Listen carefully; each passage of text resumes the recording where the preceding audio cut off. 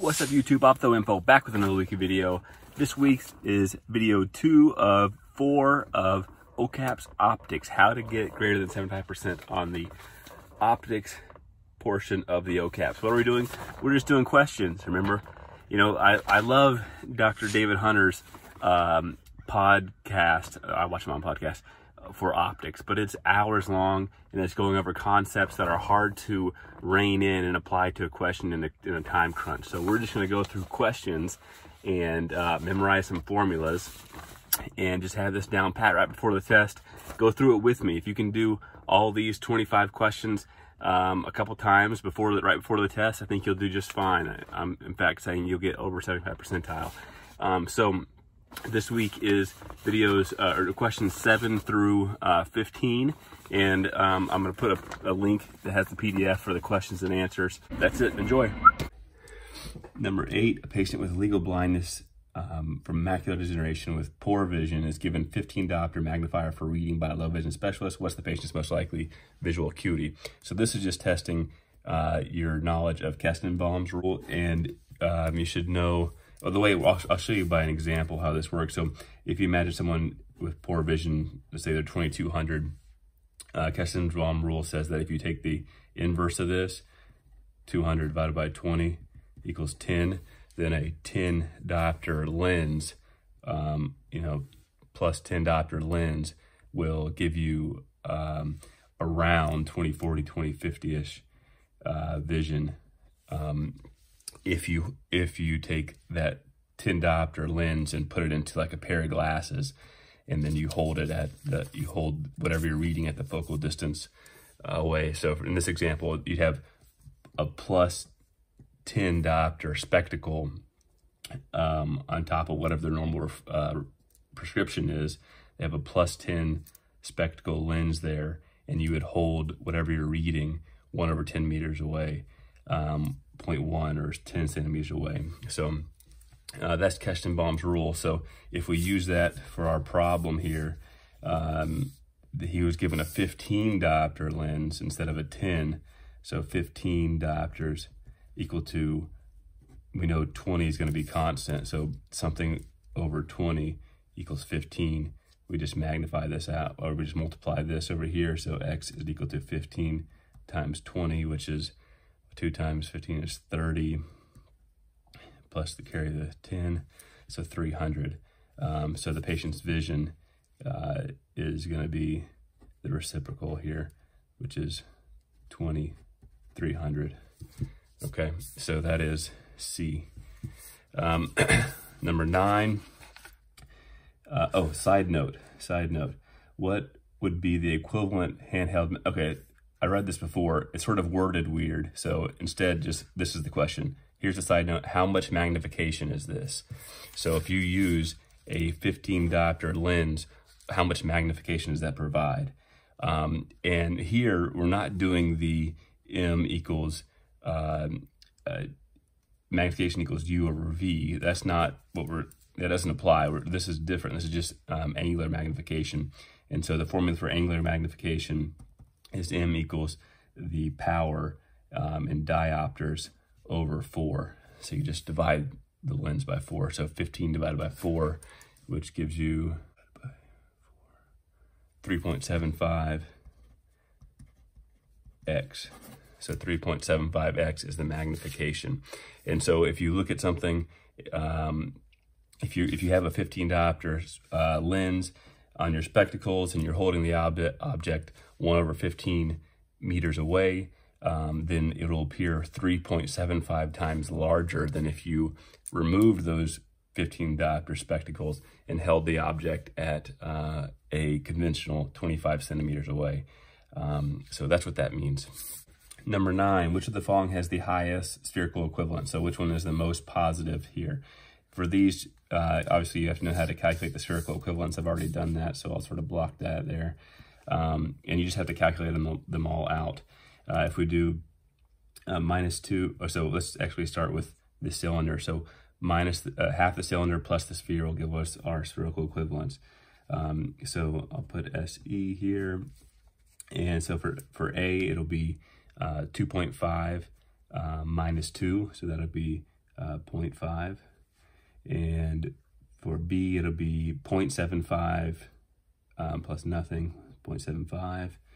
For C, it'll be 2.5 um, minus 3, which would be a negative 0.5. So we know that one's out. Um, we know this one, right now our leader is 0.75. For D, it's um, 2.25, which is half the SIL, uh, 2.25 minus 1.5, which again will give us 0.75. So these are two are tied. And then for E, um, this will be 1.5 minus 0.5, which will give us a plus one, and that's our that's our winner there. So E is the answer there. Number 10, which of the following represents a Jackson Cross cylinder? So for this, you just need to know that a Jackson Cross cylinder has a spherical equivalence of zero or plano. Okay, so that will mean that uh, we're looking for a cylinder that is uh, double the sphere. So, um, so this is if this is two, this would need to be four. That's wrong. Two and no, two and four. No, two point five and five. Yeah. So this here, the sphere. I'm sorry, the cylinder is double the um, the sphere. So if we calculate the spherical equivalence, it would be uh, half the SIL, which is two minus 2.5, um, plus the sphere, which is 2.5, which is equal to zero. Um, and I'll, I'll, do another video on the concept behind the Jackson Cross cylinder later. Number 11, a cycloplegic streak retinoscopy is performed on a nonverbal adult testing patient at a testing distance of 80 centimeters. Okay, so that's our working distance. We'll deal with that later. We can go ahead and, and convert it into a, um, we can go ahead and convert it into a, a power if we want. 1 over um, 0.8 so this is 1.25. So we'll subtract that at the end. That's our working distance. Um, the result for the right eye is as follows. One diopter sphere neutralizes the reflex when the streak is horizontal, and three diopter sphere neutralizes the reflex when the streak is vertical. Which of the following refractions is correct for the right eye? Okay, so this seems like it's a it's um, going to be difficult, but it's actually pretty simple once you have a few concepts down. So um, we're essentially going to first draw out a power cross, uh, which is what you're doing when you're streaking somebody. And so a plus one um, neutralized the reflex uh, when it was horizontal. So that's like this, and you're moving up and down. So we're really testing the steepness or the power vertically, right? So this will be a plus one, and this is a power cross, not the axis, this is power. And a plus three neutralizes when the reflex is vertical. That means uh, it's like this, excuse me, this is like this, so we're going back and forth horizontally, so we're testing the power horizontally. So the power here is plus three, okay? Um, now we need to convert this to, uh, to a, a prescription and the way we do that, and we'll, at the end, we'll, we can't forget about our working distance, we'll, we'll correct that at the end. Um, so the way we convert this into a prescription, um, we want to use plus cylinder. So we'll start with the least, uh, the most um, negative or the smallest number. So that'd be for our sphere. So that's plus one. And the difference will be our cylinder. Um, so that's plus two. At, now remember the convention for uh, for a prescription is that um, it's an axis, and this is a power cylinder, power across here. This is a power across, and now this is axis. So it's going to be 90 degrees away. So the power is 180, so that means the axis is 90. So times 90. And then at the end, we have to take our working distance off the cylinder. Um, so this is going to be, uh, what was our working, 1.25. So this is going to be negative um, uh, 0.25 plus 2 times 90. So that'll be C. Number 12, a patient is refracted using a stenopeic slit with the following result. I'm going to stop right there. What the heck is a stenopeic slit? Um, it's just a slit. Stenopeic is um, comes from Greek. It just means narrow. Um, so it's just a narrow slit. I can I like to think about it as like a uh, a linear pinhole, a one-dimensional pinhole. Um, And uh, the way it works is um, you you measure the power um, of the eye. Um, if you held it like this, and you'd measure the vertical power of the patient. If you held it horizontally, you'd measure the horizontal uh, power of the patient's eye. So it, um, and if you added those two, you'd make a power cross, and then you have uh, you can convert that to a prescription. That's exactly what the question is asking. Um, so a patient is refracted using a stenopeic slit with following results. So when it was held at 90 degree, when you hold it vertically, um, you get plus one. So if we do, so we just, this maps out a power cross exactly. So this is plus one. Um, and then when we hold it horizontally like that, we get minus two. So boom, it maps exactly to a power cross. My One of my male co-residents used to say, the slit equals power. Um, and then he'd walk around and say, don't put the slit on a pedestal, Mark. That's a highly inappropriate mnemonic, but, and I didn't come up with it, but I'm sharing it with you because it works and you can remember it. Uh, might be useful on a test. So um, this exactly correlates with a power cross. So how do we convert this over to, and it says assume the working distance has already been taken into account. So this is, I, I guess you would use this during uh, streak retinoscopy. Um, and like you wouldn't even need cylindrical lenses. You could just use this to isolate um, it horizontal, the prescription or the power vertically or horizontally, and then you can just use uh, spherical lenses over the top of it. So, so it says, you know, assume the working distance has already been taken into account. Um, so we're not going to subtract that from our prescription that we come up with here. So again, how do we convert power cross to a prescription? First, you start with the most minus.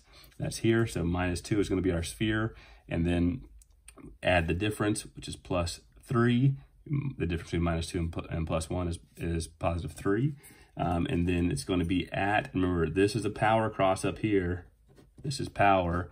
And this is our prescription, which is where we use the axis, which is 90 degrees away from the power. So uh, plus 3, which is this, we're talking about this power now, which is 90 degrees, is vertical. So the axis is going to be 180 times 180. Um, so minus 2 plus 3 times 180. If our uh, working distance hadn't been taken into account, we would go ahead and subtract that from our sphere only.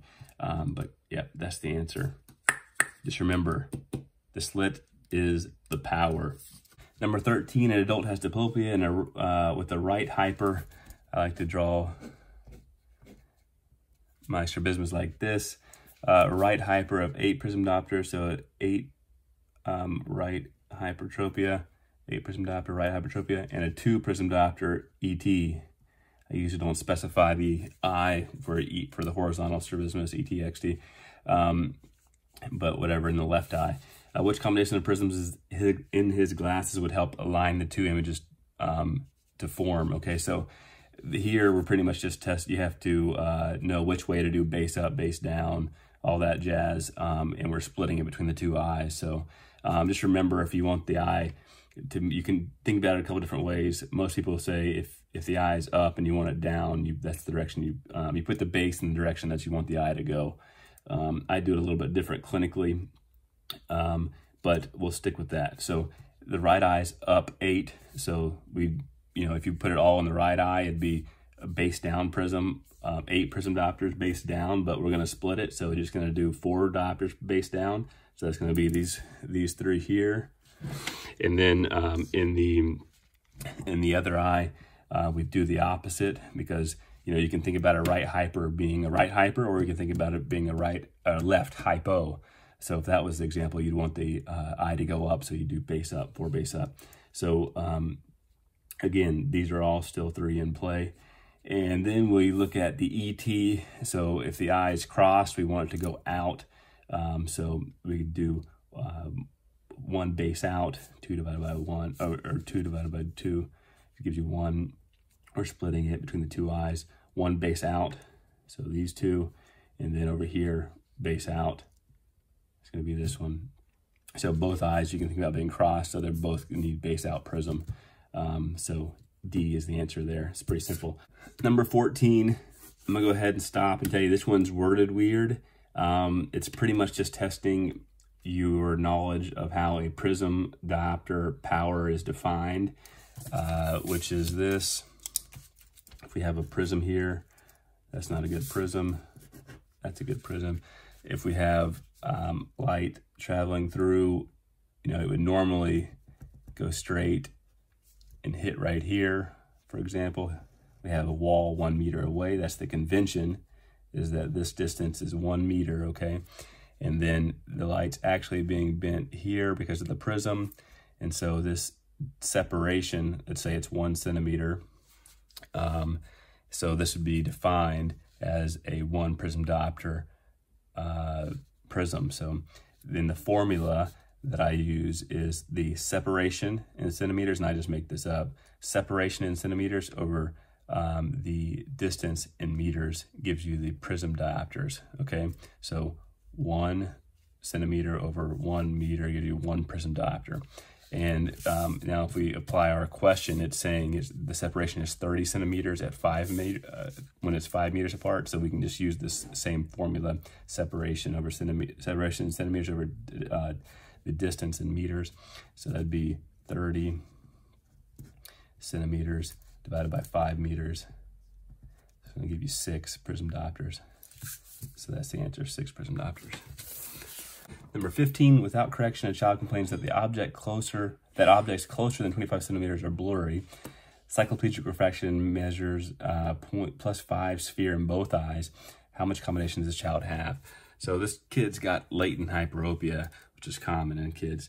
Um, when you cycloplegia an adult, uh, you know, typically if you're plus five sphere, then you can't see a dang thing anytime, um, even at infinity or even at 20 feet, even at distance. But this kid, not only can he see clearly at distance, um, but he can see clearly at 25 centimeters away. Um, so this kid is walking around all the time with a little accommodation, um, a, plus five accommodation all the time. So that's he, when he's do, using his distance vision, and then he can dial in even more power to bring that uh, to bring things that are 25 centimeters away into focus. But more than that, closer than that, he doesn't he can't accommodate for. So um, let's look at this. Uh, so what, what's this total accommodation? Well, um, you need to know that first, to just to get to infinity or just to get to distance in the focus, he uses plus five. And then to get it 25 centimeters away, we can go ahead and you know flip that and take the reciprocal, put that, make that into diopters, um, which is going to be 1 divided by 0.25 meters, which is going to be 4 diopters. So, you know, plus 4 is going to give you plus 9. Um, so that's your answer. He's got a total of 9 diopters of uh, total accommodation. All right, another 20 minutes of optics down the hatch. Stay strong. Two more videos to go. You can do it. Peace.